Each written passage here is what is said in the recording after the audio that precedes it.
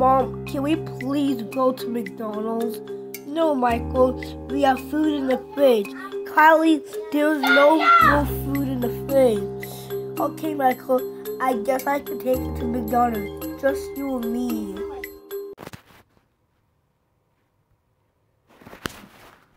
Hello, welcome to McDonald's.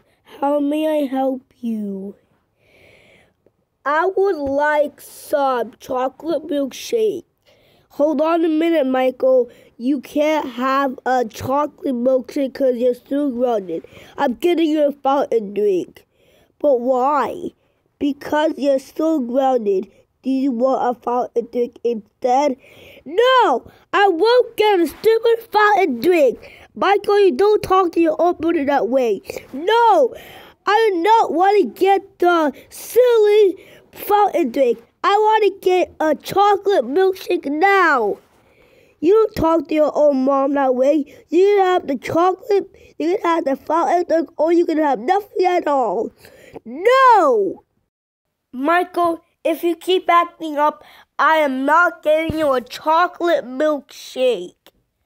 Ooh, I know. How about you slap me? Come on, slap me. Michael, stop it. You're not getting a chocolate milkshake, okay? Oh, I know. How about you beat me up?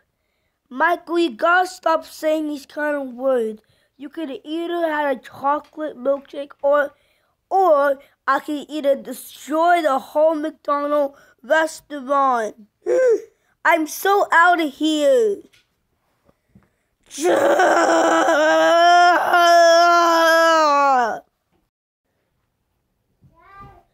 Goodbye, dumb old restaurant.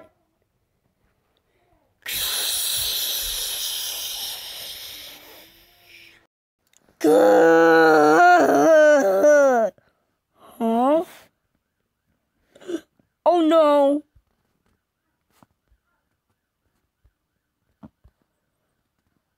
Michael, you're extremely bad for McDonald's for life.